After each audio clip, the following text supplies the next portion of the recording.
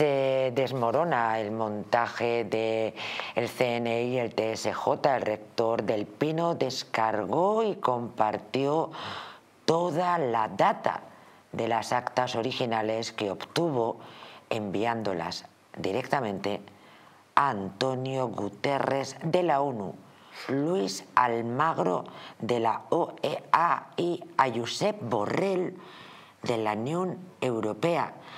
Maduro, Maduro está en las últimas. No sé si está preparada Azabache. ¿Está Azabache preparada? Muy bien, ahí estamos. Azabache, estoy escribiendo. Muy buenas noches, Azabache. He leído, he leído este tuit que la verdad deja congelada el alma más de uno. Vamos a ver, eh, con toda claridad, aquí hay entes que conocen perfectamente la verdad de este fraude. Buenas noches de nuevo, querida. Buenas noches, un abrazo de corazón a corazón a todos los guerreros de luz, amantes de la libertad, Enorme abrazo de corazón a corazón desde España a Venezuela. He leído un tuit eh, recientemente que además está en tu poder, donde cuando menos a una eh, le hace pensar que si todas estas instituciones conocen la verdad, la pregunta es ¿qué está pasando, Azabache? Está pasando que el, régimen tirano asesino eh, arremete contra los ciudadanos y, lo vemos, la verdad es que son incontables ya las familias secuestradas, la, gente que está desaparecida, las voces silenciadas. Estoy hablando de activistas, de militares, de policías.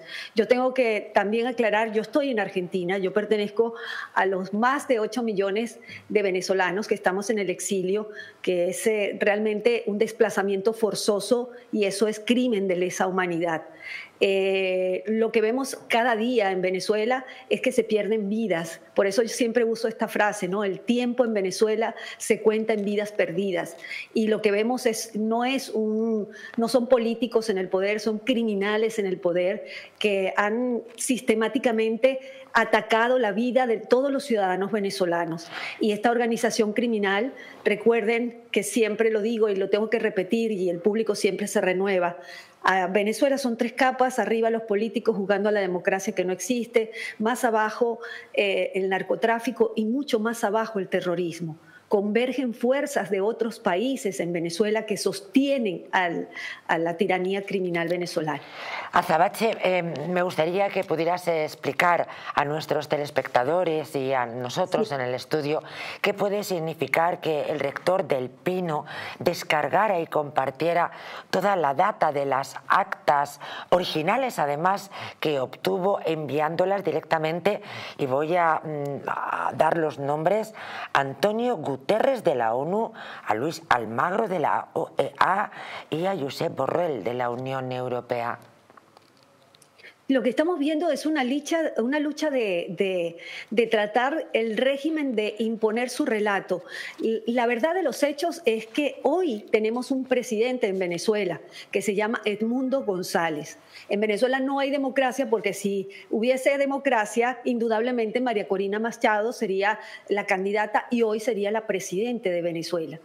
Eh, gracias a la gestión que hizo María Corina Machado, se pudo demostrar inmediatamente con las actas originales y gracias a, lo que ellos llevaron adelante el sistema de recopilación de datos, pueden demostrar que Edmundo González es el presidente de Venezuela. Pero ahora hay una construcción de relato a través de la tiranía asesina, donde ayer mismo quiso eh, mostrar unas actas que realmente las, las imágenes estaban hasta eh, no sé, estupor, risa, gente con barbijos, con guantes, manipulando unas actas que no se sabe de dónde vienen, eh, con todo el tiempo eh, que se han tomado en mostrarlas.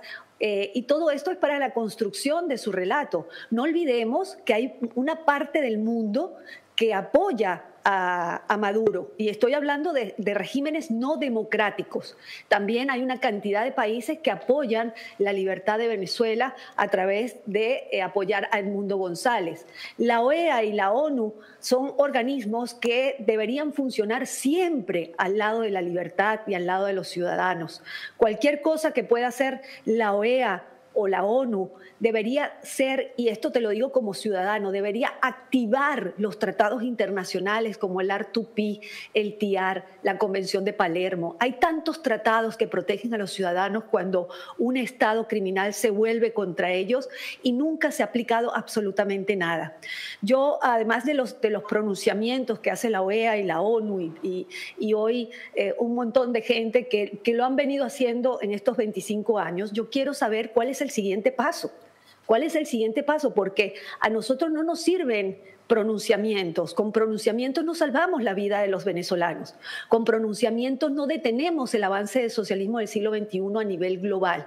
Con pronunciamientos, y yo siempre hago esta, esta frase, ¿no? este paralelismo que me parece este, idóneo para el momento. Mientras los buenos no hagamos nada, eh, y seamos tibios, los malos avanzan sin tregua. ¿Qué, ¿Qué, quiero decir con esto? Que para que el mal triunfe mira, nada más le hace falta que nosotros no hagamos nada o seamos tibios.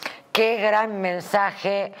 Qué gran mensaje, Azabache. Con él nos quedamos. Te ruego que nos digas eh, cómo podemos eh, seguirte para saber más acerca de Venezuela y para hacerte llegar nuestro, nuestro apoyo y nuestro amor. Muchísimas gracias de corazón a corazón, como siempre. Síganme en arroba sabacho online. Recuerden que la libertad es todo. Sin libertad no hay absolutamente nada. Los abrazo, los quiero y los acompaño siempre. Gracias. Y grito. por la oportunidad. Y grito de guerra. Y el grito de guerra, claro que sí. ¡Viva la libertad, carajo! ¡Ole! Gracias, Bella. Buenas noches, Azabache.